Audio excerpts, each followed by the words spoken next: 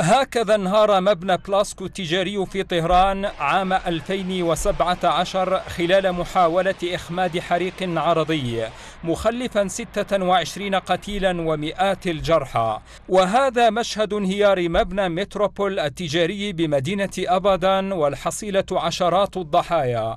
حوادث يقول المهندسون إنها ترجع إلى سوء التنفيذ وعدم احترام معايير السلامة اللازمة قبل وبعد الإنشاء.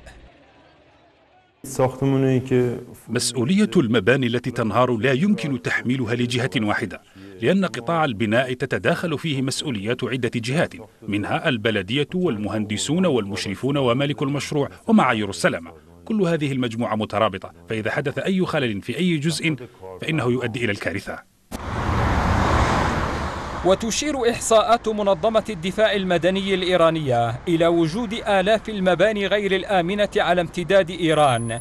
في طهران وحدها حوالي 33 ألف مبنى غير آمن منها 3500 مبنى خطر ونحو 130 مبنى شديد الخطورة. واعتبروها قنابل موقوتة يمكن أن تؤدي إلى كارثة في حال وقوع زلزال أو حريق.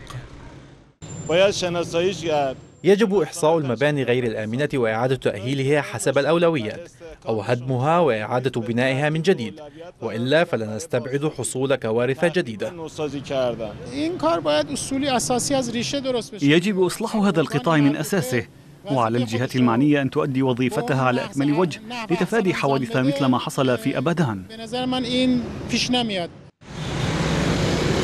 ومع تصاعد الانتقادات بشأن ما يوصف باختلالات في قطاع البناء دعت السلطات الإيرانية إلى البحث والحصر الفوري للمباني المتهالكة في عموم البلاد خاصة في العاصمة طهران ومطالبة أصحابها بإعادة تأهيلها أو هدمها في ظل تساؤلات عن درجة الأمان والمعايير المتبعة في المباني قيد الإنشاء.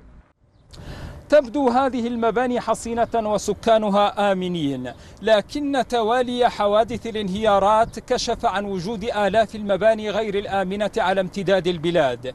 وضع عزز المطالبات بتعجيل الترميم واتخاذ إجراءات لتفادي حدوث كوارث جديدة. عبد الخالق الحمداوي تارت عربي طهران.